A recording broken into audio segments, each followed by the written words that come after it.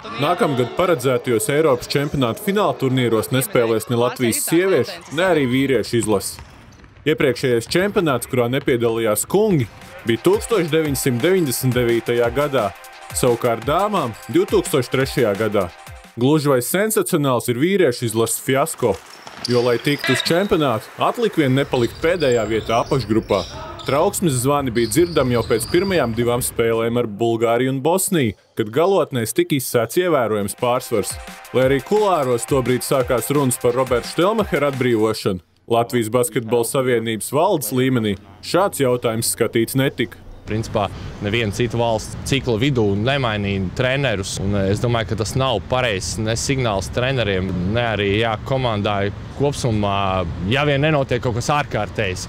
Un, un mēs ar, es domāju, ka iepriekšējais sasaukums valdes ar lielu atbildību un caur tiešām arī diskusijām izvēlējās labāko tā brīža pieejamo treneru.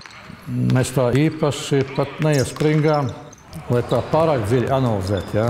Varbūt ārzemju treneri ņemt, vai mēģināt kādu esošo mūsu treneru, piemēram, vētru ja? vai muiznieks, ja? kas ir aizņemti, bet uh, varbūt kā varētu viņus piedabūt pie izlases stūres. Mēs īpaši neiespringām, ja atklāti pateikšu, ja, tajā brīdī. Tikai tāpēc, ka domājam, tā apakšgrupa ir tāda, ka trīniekai ir jātiek pie jebkura trenera. Basketbola funkcionārs Mārtiņš Lau uzskata, ka cēloņa esošajai situācijai ar vīriešu izlasi meklējums sanāk uzreiz pēc 2017. gada Eiropas čempionāta, kad bijis jāizvēlas Aināra Bagātska pēctecis pie izlases stūrs.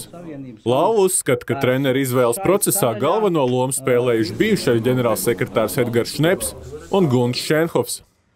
Šie divi basketbola cilvēki, kas zina, it kā zina drēbi par šīs izlases galveno treneri, ielika Arnu Vecvagaru. Arnis Vecvagars kopumā nav slikts cilvēks, bet mēs zinām, ar ko viņš nodarbojās pēdējos gadus. Viņš trenē kaut ko Kazahstānā, kaut ko, ja?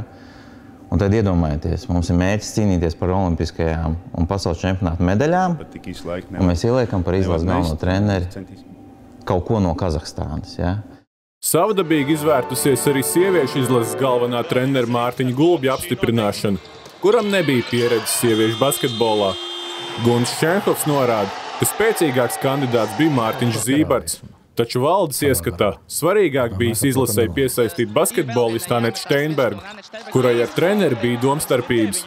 Ja Zīberts būtu ticis galā savās attiecībās ar Steinbergu, jo izlases bez Steinbergas nebija iedomājama tad uh, nebūtu tāds jautājums pacēlies par treneru maiņu.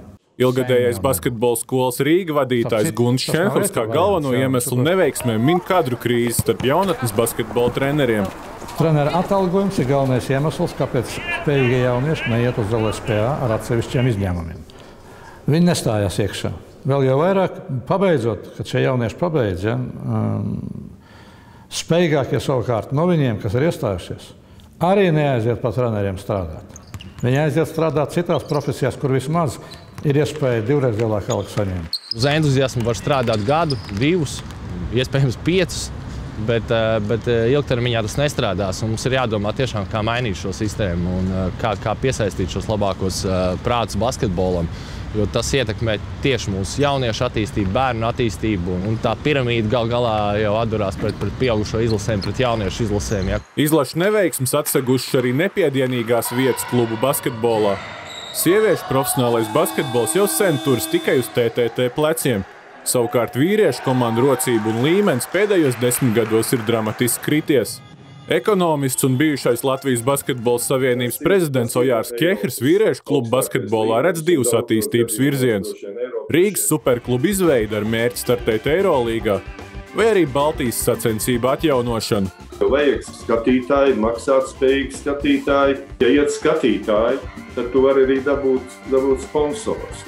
Tev vajag interesantas nu, spēles, un tev vajag, lai klubi varētu dabūt eh, nu, spēlētājus un maksāt viņiem kaut cik pienācīgas algas, vienalga eh, latviešu vai ārzemju spēlētāji, tev vajag pietiekoši daudz spēles. Un spēles, kas ir, ir kvalitatīvas. Kehrs norāda, ka gan Rīgas, gan citu Latvijas lielāko pilsētu ekonomikas līdz pandēmijai bija augošs. Līdz ar to abi attīstības scenāriji ir reāli.